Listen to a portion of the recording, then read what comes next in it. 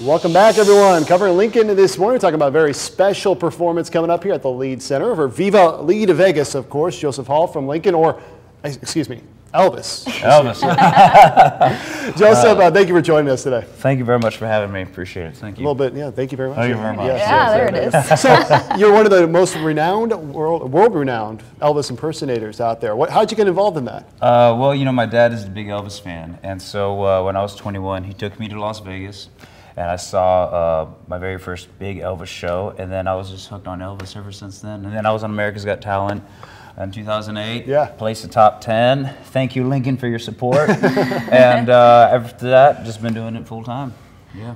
Uh, what are you going to be doing at the Lied? Uh, at the Lied, okay, so February 4th, uh, it's going to be a, a wonderful uh, event. All the money's going towards the arts uh, for Nebraska. Uh, myself will be there. Uh, there'll be other bands there as Right. well. Uh, so there's going to be gaming tables. It's a big party, big party.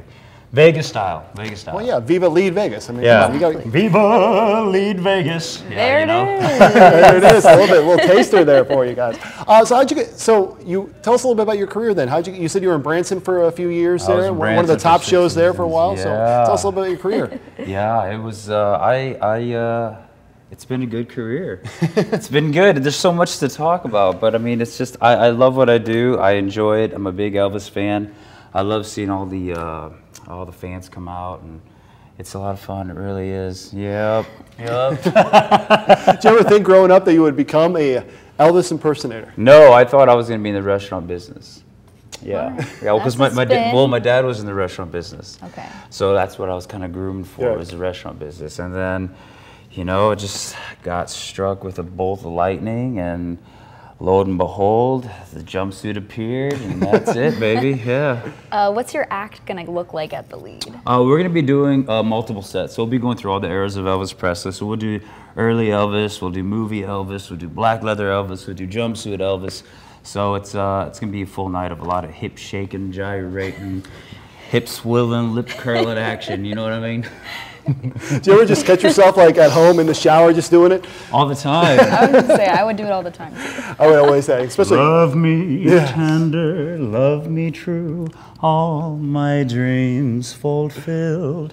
Yeah, you make- always in the Wow, so, I know.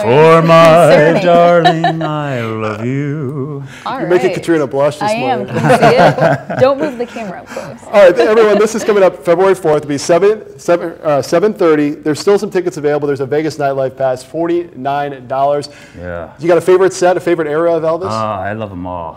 Jumpsuit's my favorite though.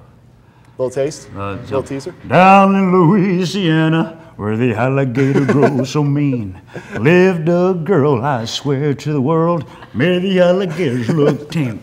Polk Salad Annie hope, help! All right, that's all the time we have. right. Taking the break, Elvis.